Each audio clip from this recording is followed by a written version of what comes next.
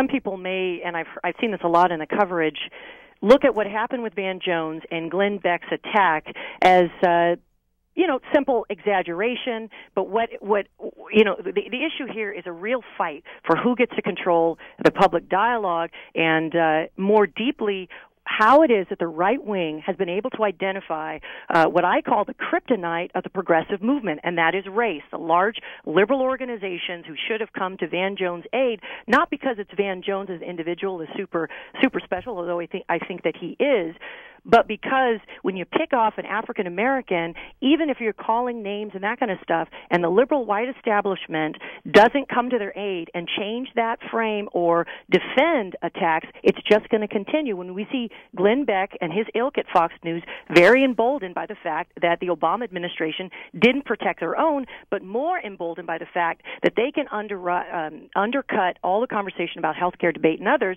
by throwing race into the mix and paralyzing progressive and liberal institutions. We had a very lively conversation about this very subject on uh, on Grit TV earlier this week, and asked the question of one guest: Are there any inst- liberal, white-dominated institutions that can be counted on by people of color to come to their defense when they're under the attack like this? The answer was a resounding no. Ari.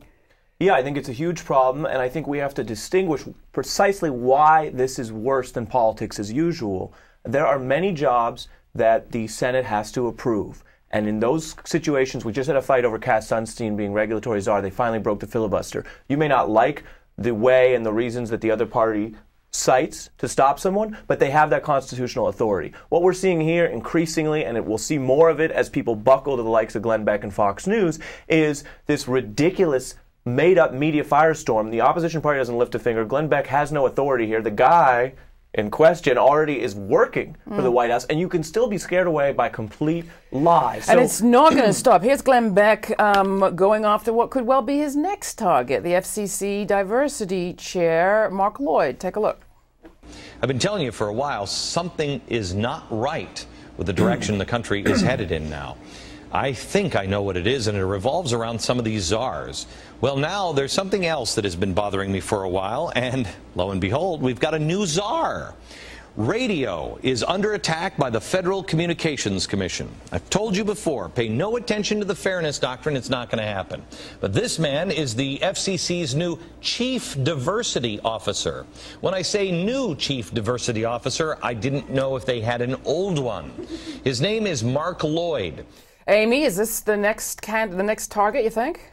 Not not, not only is Mark Lloyd in uh, the sights of the right wing media like uh, Glenn Beck, but uh, they're expanding. They know as long as they attack African Americans, and if liberal institutions cannot get themselves straight about directly facing up against racism, that they have a shot in in uh, being able to attack and successfully uh, bring down these people as proxy for the Obama administration. So yeah, I mean, I you know I think I think there's uh, several Obama advisors in the last week. Glenn Beck has been talking about.